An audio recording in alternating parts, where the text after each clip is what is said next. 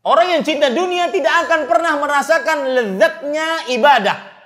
Tidak akan pernah masuk ke dalam perkataan Syekhul Islam Ibn Taimiyah, "Inna fid dunya jannatan man lam yadkhulha lam yadkhul jannatal akhir." Sesungguhnya di dunia terdapat sebuah surga. Siapa yang tidak masuk ke dalam surga dunia, dia tidak akan pernah masuk ke dalam surga akhirat. Surga dunia yang dimaksud oleh Syekhul Islam Ibn Taimiyah adalah lezatnya beribadah. Antum bayangkan para ikhwan yang dirahmati oleh Allah Subhanahu wa taala. Ada orang kadang-kadang beribadah, dia berusaha keluar keringat, menahan hujan, menahan panas demi ibadah kepada Allah Subhanahu wa taala.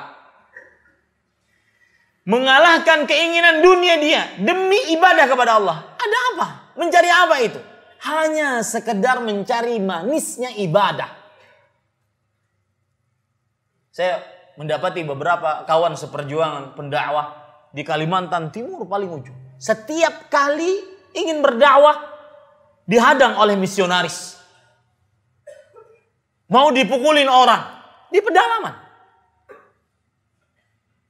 Tetapi kenapa terus saja berdakwah selama puluhan tahun? Apa yang mereka cari? Di situ terdapat lezat. Di situ terdapat keimanan, manisnya iman. Ada yang kadang-kadang orang hartanya habis. Kekuatannya sudah habis demi berdakwah. Di situ ada manisnya iman. Indah melihat orang ketika mendapatkan mendapatkan petunjuk dari Allah Subhanahu wa taala, masuk Islam, mengenal manhaj yang benar. Walaupun dia berdakwah sampai ke pedalaman. Apa yang dia cari? Tidak ada lain kecuali manisnya iman.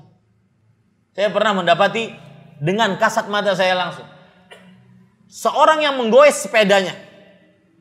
Dia berjualan kelontong dengan sepedanya, alat-alat kelontong. Uh, baskom, ember dan semisalnya. Wallahi Pak, setengah jam sebelum azan pasti selalu ada di depan masjid. Dia selalu berpikir, kalau saya ke kanan, kalau saya ke arah kanan ke barat, kira-kira saya dapat masjid apa? Kalau saya ke kiri atau ke timur, saya dapat masjid apa? Kenapa bisa seperti itu? Karena adalah lezat yang dia rasakan yang tidak bisa dibayar dengan apa pun. Makanya para ulama mengatakan, "Lau alimuna abnaul muluk wa ashabul muluk ma nahnu fi la jaluduna bisuyuf."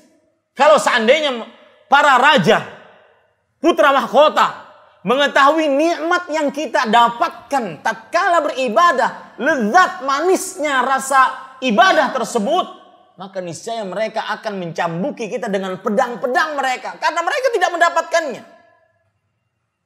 Ini para ikhwan yang dirahmati oleh Allah Subhanahu wa taala. Orang-orang yang merasa lezat tatkala beribadah.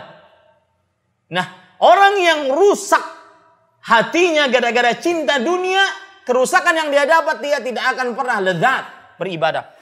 Contoh misalkan, orang yang lalai tatkala sholatnya, gara-gara cinta dunia. Di dalam surat Nur ayat 37. Rijalun la tulhihim tijaratun wa la bay'un an dzikrillah wa iqamis salah wa ita'iz zakah yakhafuna yawman tataqallabu fihi al-qulub wal absar. Para lelaki yang perdagangan dan jual beli mereka tidak melalaikan mereka dari mendirikan sholat, membayar zakat, berzikir kepada Allah. Ada sebagian orang pak kalau lagi sholat gara-gara cinta dunia, ya sudah sholatnya masbuk, sudah sholatnya masbuk. Kemudian setelah salam, assalamualaikum warahmatullah. Ini ini belum selesai nih, sudah megang handphone. Assalamualaikum warahmatullah. Ha. Langsung. Ada manusia-manusia begitu. Dan na'udzubillah kalau Anda sudah mengaji, melakukan itu. Berarti saat itu Anda cinta dunia, hatinya membatu. Mohon diperingatkan kepada kawan-kawan yang sudah ngaji, yang apabila megang apa sudah salam tidak berzikir, langsung megang handphone. Ingatkan, ya cukup, tutup. Kecuali keadaan yang sangat terpaksa. Misalkan ada yang meninggal, ada yang apa. Ada sebagian orang yang sudah ngaji kadang-kadang tidak berzikir setelah sholat. Tidak ada zikir pagi, zikir sore. Tidak ada. Ini para ikhwan yang dirahmati oleh Allah Subhanahu wa Tidak lezat dia, tidak lezat merasa lezat dengan duduk di masjid. Ini Bapak Ibu, saudara-saudari yang dimuliakan oleh Allah Subhanahu wa taala.